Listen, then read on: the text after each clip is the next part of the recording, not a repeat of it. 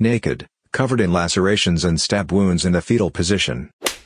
3 disturbing stories of r slash let's not meet that will make your skin crawl. Hal's Waiting Room During my early 20s, I worked as a meter reader in Iowa City. A meter reader is the person who records how much electricity, gas, or water you've used each month. If your meters are on the inside and you want an accurate bill, a meter reader must enter your home whether you're there to let them in or not. Just to clarify, we only entered homes if consent was given when the customer first signed up for service. Customers also provided us with keys, if necessary. Entering a home when the owner isn't present is something that I never got used to. No matter how loudly I knocked, I never shook the uneasy feeling that I wasn't welcome. The inside of a home is the ultimate private space. A home's exterior is just the image of ourselves that we project to the rest of the world. But the further you venture inside, the closer you come to truly seeing what kind of person lives there. And if you want the raw, unfiltered truth, head for the basement. I hate basements. I've seen walls that looked like giant, static-filled TV screens, until I realized it was roaches scurrying across a white background. Cobwebs so thick and dusty that it looked like the cotton candy machine exploded at the Spider County Fair. I've seen rats, snakes, feces, weapons, neglected children, abused pets, homeless squatters, massive hoards, bizarre sexual items, a makeshift meth lab, and even a coffin. There are rational explanations for all of these things, well, maybe not the coffin, but there was one basement where what I found was beyond the grasp of logic, and that's what made it so terrifying. It was an old apartment house. From the outside, it looked like every other house on the block. I entered the back door and found myself at the top of a staircase. I ran my hand along the wall until it grazed a light switch. I flipped the switch, but no lights turned on. I wasn't carrying a flashlight. A typical route involved 5 or 6 hours of walking, so I carried as little as possible. Oftentimes I used the light from my handheld screen, but it only illuminated whatever was about a foot in front of it. So armed with the world's worst lantern, I made my way down into the darkness. Once at the bottom, I blindly shuffled across the room, one baby step at a time. With arms outstretched and head down, I eventually reached the far side of the basement. I shined the dim light from my handheld along the wall, and discovered two doors. Each door led into its own small room. I chose the door on the right, and found the meters in the far corner. As I entered the reads, I began hearing noises coming from the other room. Something was moving, and there was whimpering that grew louder the longer I listened. I eventually realized it was a dog. It sounded weak and distressed. I tried to open the door, but it was locked. At this point, the dog was scratching the other side of the door. I felt helpless. I reported it when I got back to the office, but I couldn't shake the thought of that dog. It stuck with me over the next month, until it was time to return. So there I was, one month later, back within that basement. At least this time I knew where the meters were located. I shuffled back to the little room on the right, while keeping my ears open for any sounds coming from the other room. This time I heard nothing. I read the meters and started making my way back, but I couldn't shake the memory of that dog. Was it still trapped inside that room? My curiosity got the best of me. I stood outside the door for a few moments, listening. Still nothing. That's when I made a huge mistake. I tried to open the door. I had no more than jiggled the doorknob when I first heard it. Screams. Blood-curdling screams, unlike anything I'd ever heard. Sounds that I didn't think a human was capable of producing. Short, piercing, high-pitched shrieks followed abruptly by a low, drawn-out, guttural moan that ultimately morphed into something that I can only describe as crying, but much louder. It was all over the place, like some sort of psychotic, freeform jazz. I stumbled backwards, nearly losing my balance. I shouted something like, hello? Who's in there? There was no response, just screams. Are you okay? Do you need help? Still no response, just screams. There was no doubt that I yelled loud enough for him to hear me. He didn't want my help. He wanted me gone. I fumbled my way through the darkened room, toward the exit. When I reached the top of the stairs, I just stood there, listening. I was trying to wrap my mind around what I was hearing. I waited for the screaming to stop, but it never did. When I finally left, it was still as loud and demented as when it began. I felt relieved, but that quickly vanished when I realized I had to do it all over again next month. I reported what I'd heard, but nothing came of it. As my return drew nearer, a sense of dread grew inside of me. What kind of lunatic sits alone in total darkness and silence? My mind created endless explanations for what kind of hell laid beyond that door. By the time I returned, I'd built him up in my mind so much that anyone other than the devil himself would have been a letdown. But there was no sign of him the next month, or even the next several months. I'd nearly given up on solving the mystery, when a stroke of luck pulled me back in. One night, I went to a concert with my friend Laura. After the show, I gave her a ride home. She'd moved somewhat recently, so she had to give me directions. I didn't pay much attention to where she was leading me, until she pointed to a house a ways up the street. I couldn't believe it. She had moved into the house with the mysterious room in the basement. This sounds weird, but have you noticed anything odd about the basement at this? I began to ask. But before I could finish my sentence, she blurted out, a crazy guy lives down there. Finally, I had confirmation. She went on to tell me that even though her apartment was in the attic, she often heard him yelling late at night. But that wasn't all, she had actually met him. One day, while walking to her car, she saw him standing in the lawn. He stood perfectly still, with no expression on his face. He was directly in her path, so she cautiously made her way around him. She noticed he was staring at her, so she offered a friendly, hi. As she passed. He had no reaction, except for one unsettling exception. He stuck out his tongue, then quickly sucked it back into his mouth and resumed acting like a statue. Thoroughly creeped out, she got in her car and drove away. Two or three months later, I finally met him myself. I entered the back door, like I had so many months before. This time something was different. There was a light on in the basement. I peered down the staircase. At the bottom, a ragged-looking dog was staring back at me. It was the same dog I'd heard during my first visit. Then I noticed something else. Behind the dog, I could see a pair of bare feet. The ceiling blocked my view of the rest of whoever was standing there, but it didn't matter. I knew it was him. I should have left right then but I didn't. I know this probably doesn't make sense, but at this point my desire to finally get some answers outweighed my fear. I shakily called out, meter reader, and started to make my descent. As I made my way down, more of him was revealed. He looked to be middle-aged. His head was shaved, and his eyes were wild. He was wearing pants, but no shirt. What I remember most was how lean and sinewy his body looked. It had the look of a body that was never at rest. I explained who I was and what I was doing there. To my surprise, not only did he talk to me, but he actually sounded somewhat normal. The volume and pitch of his voice was odd, but he said the same sorts of things that people typically said to meter readers. I even started to doubt whether or not he was the same man I'd heard screaming, but his behavior slowly removed all doubt. As I read the meters, he rapidly paced back and forth. He was constantly wringing his hands together, and spastically cocking his head from side to side. The longer he talked, the more agitated he became. He began grimacing, and little verbal tics started popping up in his speech. Every so often, he'd blurt out a loud awe. In the middle of a sentence. He was trying to suppress these sounds, but he was losing the battle. I started to make my way to the exit. He followed. His verbal outbursts grew louder and more frequent.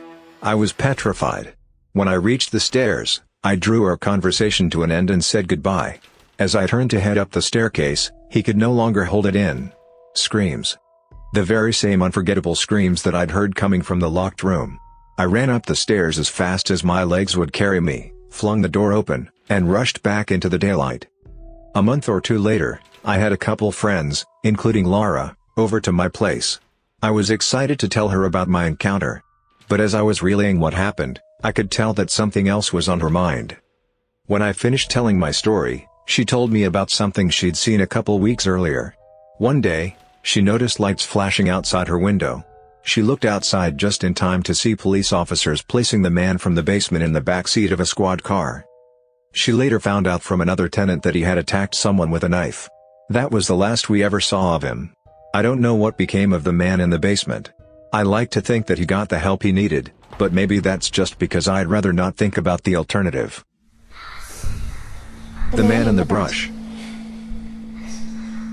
To give some explanation and background knowledge for this whole encounter, I was around 15 at the time this occurred. I was camping out in the middle of nowhere with my family and part of my extended family, my aunt, uncle, and cousins. I was the oldest kid there in the RV, so you can probably understand how it felt to have no one else to do the stupid crap I did back then with. With a good two-year gap between me and the inferiors, it was almost like nirvana when I got to the campground and met the other teenagers. These were all people we knew fairly well from previous camping trips, so it was considered normal to hit it off with them from the start and act like we've known each other forever within the hour. Now, the story. My parents trusted me a lot, not a lie. I liked my fun, but I liked getting home in time for dinner equally as much. So when I was gone most of the day with other people from the camp, they didn't think much of it. The only rule was that I had to be back at the RV to eat dinner, and before 8.30, 20.30, in the evening. So picture this, group of six teenagers, 15 to 16, out in the middle of the woods with no adult supervision for the vast majority of the day. Just a recipe for success right there. But this particular day, we found a neat little deer trail we hadn't found in the two years we'd been there before. On second thought, though, it didn't really seem like a deer trail. It snaked through a really thick part of the underbrush, maybe a foot, 30 centimeters, of clear ground, 3.5 feet, 1 meter, clear of branches going upwards. It's a really hard thing to pick out of the brush, unless you're either really looking or know where it is. It was promptly explored, marked with a broken branch outside of the entrance, and quickly forgotten. Except, I remembered this special little tunnel. That night, while we were all eating dinner, one of the adults proposed that we played manhunt out in the woods. At night. Not everyone was totally on board with this idea, but in the grand scheme of the plan, they were quashed down like autumn leaves. Everyone got a flashlight, and everyone was assigned to a team. For those of you who aren't sure what manhunt is, here's an explanation, everyone playing is given a flashlight, and they are divided into two groups. It's basically like glorified flashlight tag, but there's a catch, as you catch people, you have to correctly identify who they are, and if you can, they join forces with the hunters. The last man standing gets a candy bar or something, whatever is being offered as a prize. This is how we played it, anyways. For the first round, I get lumped in with the runners, those who are getting chased by the hunters. We get a 5 minute head start to run, climb a tree, whatever the hell we want to do to evade the hunters. Usually, I'm the one up in the tree, but that never really worked out as being the winning spot. So, to try and score a win for once, I decide to play the cat and use one, surefire method of escape. And the hiding spot was the rude little path through the thicket. It took most of the head start time to find the thing, because it was so well hidden and out of the way. As I passed hiding spots, I heard hushed, smothered whispering between siblings who were questioning my actions, like a bird's wings rustling when it's fluffing itself. It should be noted that I have bad hearing, my ears are possibly my greatest asset in this game. But when I'm just reaching the destination, I hear the short blast of the air horn announcing that the five minutes are up. I swan dove into this minute little path in the undergrowth, shuffling on my hands and knees until I'm about halfway in, crouching down like some huge, malformed quail. The hunters are doing an initial sweep through the trails, looking for obvious hiders and people caught out trying to change spots. When they finally reach me, they reach the dead end and go straight back. I try to readjust myself, and crawl further down the tunnel. I honestly don't know how it happened, but I found an even more hidden path within that one, and accidentally, I dragged my stupid body down the rabbit hole. Except, instead of ending in a dead end, this one ended in a slight hollow. I don't ever want to describe exactly what I found there. I'm sorry, but I just can't. It was a younger looking woman, naked, covered in lacerations and stab wounds in the fetal position. Her glassy, glazed eyes seemed to look straight through me. I won't go any further than that. I was too scared to scream, and I froze there while dark, burgundy stains formed on my jeans. I froze there, in a pseudo-catatonic position like a marble carving for what felt like hours.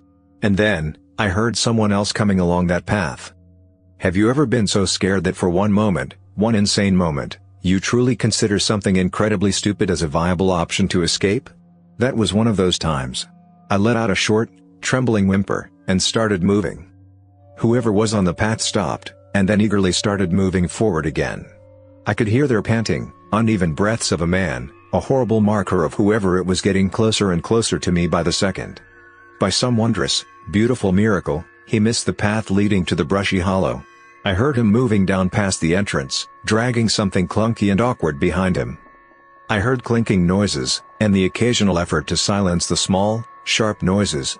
I heard a low curse, somewhere towards the end of the tunnel, and I blasted out of the undergrowth tunnel like a bullet forcing its way out a barrel. Cracks, Crashes and obnoxious rustling was all around me as I heard the man sharply intake a breath and begin to move towards me. The hoarse, deep panting was getting closer and closer to me, a testament to how I was too slow at exiting.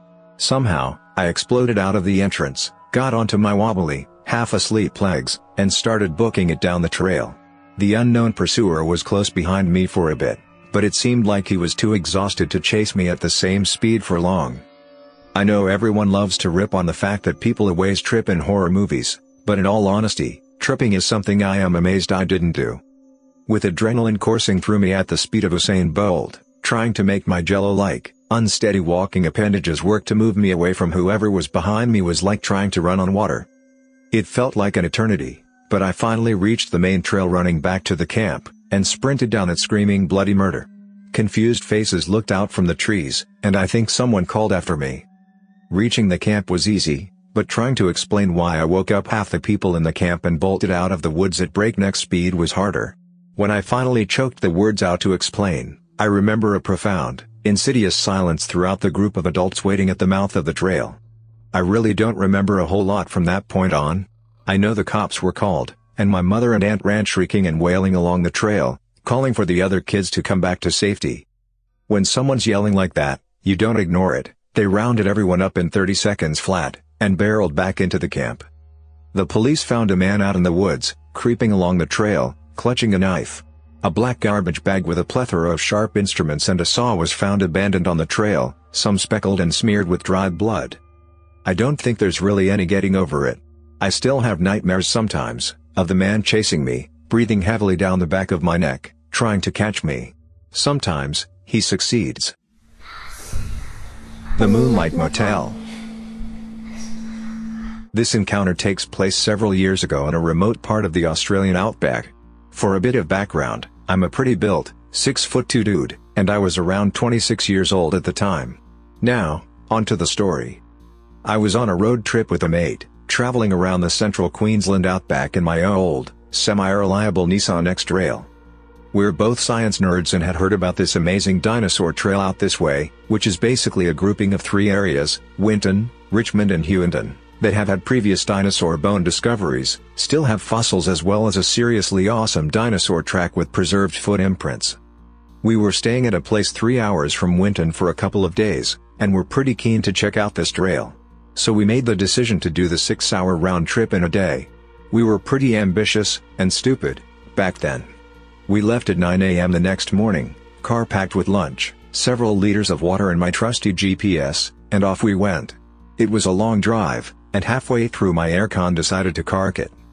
If any of you have visited Australia in the summer, you would know it's brutally hot. So, I'm sure you can imagine the three-hour trip there without aircon, with the eventuality of the six-hour round trip, was hell.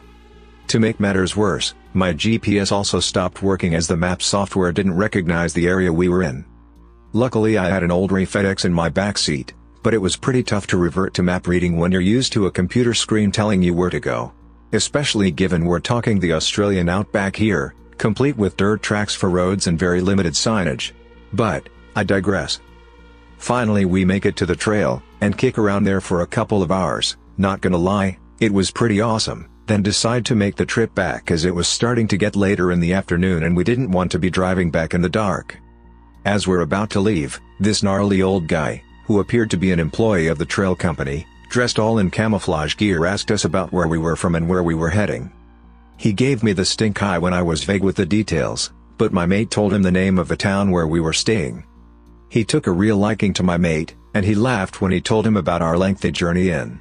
Apparently we had taken the long route and there was a much quicker way to get back, that would shave about an hour off the trip. We jumped at the directions he gave us, ain't nobody got time for an extra hour in an aircon-less oven, all verbal, which we wrote down. Off we went on our merry way, thinking how lucky we were to have met this old dude who gave us some sweet intel on a shortcut home, but I can't deny there was definitely a creep vibe coming off him. Based on the directions he gave us, we went winding along several roads in an area I had never been in, and eventually settled straight on this narrow dirt road. We were supposed to reach an intersection after about half an hour, take a right and continue on that road until we got to a main highway that would take us back. After an hour and a half of driving on this dirt trail, though, we still hadn't reached this intersection. I was starting to freak out a bit, thinking we'd miss the turn, but my mate was completely chilled out and was sure we'd get there eventually. I think he thought I was driving too slowly, but there are kangaroos out there, man, and those things are seriously dangerous if you hit one. We had been traveling for a while now, it was getting later and later in the day, and it got to the point where the petrol in the tank was only a quarter full. There were no houses, other roads or cars in sight and I was really not comfortable with where this was headed. The middle of nowhere. In a remote area in the wasteland that is the Australian outback. There weren't even any trees. Only this dirt road and desolate, dry bushland and shrubs as far as the eye can see. I stop the car and tell my mate to get the binoculars out of the back to take a look around in case he can see a landmark. Yes, I carried binoculars in my car, still do.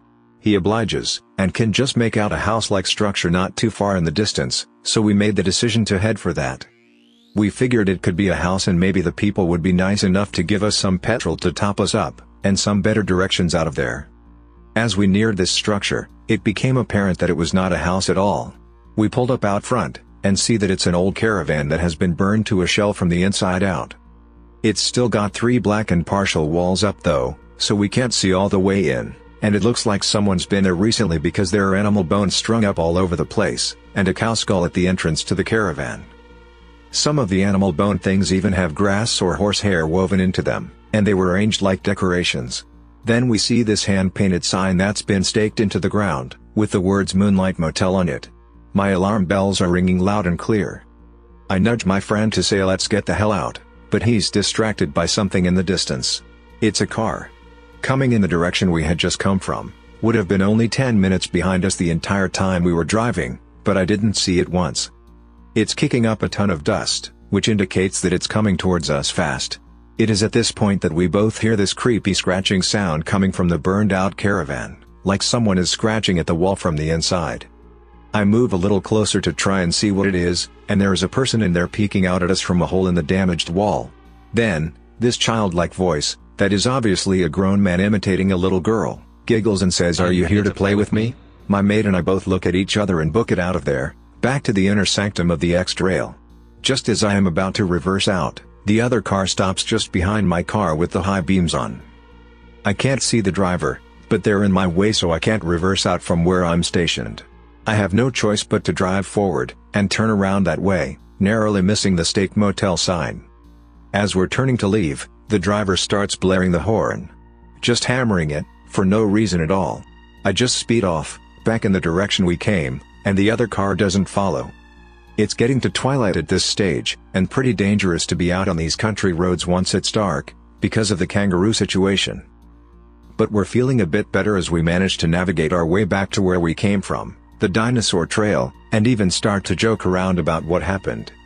The person in the other car was probably just honking at us to get our attention to help with directions, or something. I pull into the parking lot and go to the front desk area of the company that runs the tours. I explained that we had gotten lost on our way back to the town we were staying at, and the lady there is kind enough to give us just enough petrol for the ride back. I couldn't help myself, and mentioned to her that her workmate is a real jerk for giving us those weird directions, we figured that there was no way we messed up the advice he'd given us. And she gives me a weird look and asks me to describe the guy. I do, and her face goes funny and she says, that man does not work here. I saw him talking with the tourists today, and my boss had to ask him to leave. He kept trying to get the details of where people were staying, and telling them that he had vacancies at his place and they could stay there. At the Moonlight Motel. So, Creepy old dude, pretending to give helpful directions to a couple of city folk to trap, and potentially murder, them in your lovely accommodation, let's not meet. Thanks for listening to Radio TTS. Hit the subscribe button and activate the notification bell to avoid creepy strangers in your basement. Share your thoughts about these stories in the comments below, and remember, there could be someone in your basement too.